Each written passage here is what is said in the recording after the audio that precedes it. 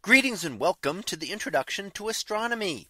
One of the things that I like to do in each of my introductory astronomy classes is to begin the class with the astronomy picture of the day from the NASA website that is apod.nasa.gov apod. And today's picture for November 25th of 2022. Well, it is titled NGC 6744 extragalactic close up.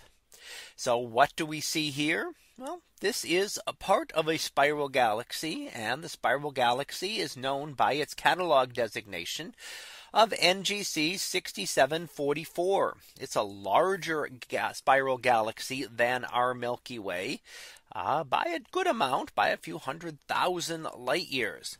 And it's also, of course, far away, although relatively close as galaxy speak, being only about 30 million light years away from us.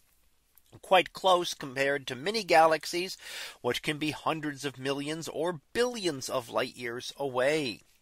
And of course, what that means is that we see this galaxy not as it is today, but as it was 30 million years ago.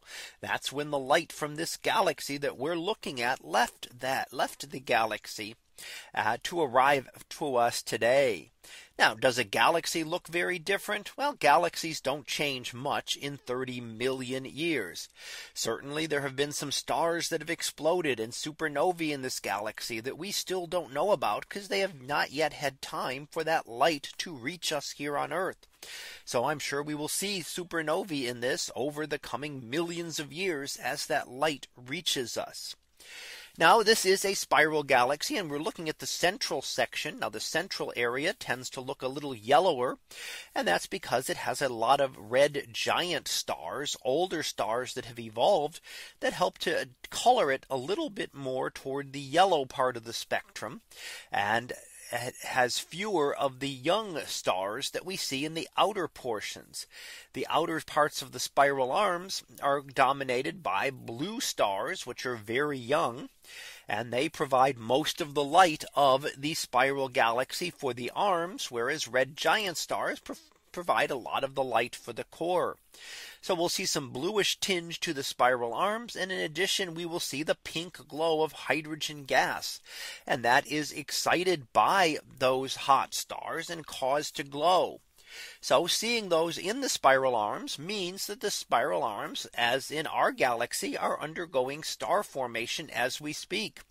And in the 30 million years, of course, many stars have formed in this galaxy since the light left us. So there's still a lot of stars we don't know about. And perhaps many of the star clusters that we're seeing have lost stars in the meantime. So while galaxies are constantly changing, the overall typical structure of the galaxy pretty much remains the same on time scales as short as just 30 million years. When we start to talk about much longer changes over billions or multiple billions of years, then we might start to see some changes within the galaxies themselves. So that was our picture of the day for November 25th of 2022. It was titled NGC 6744 extragalactic close up. We'll be back again tomorrow for the next picture. So until then, have a great day, everyone, and I will see you in class.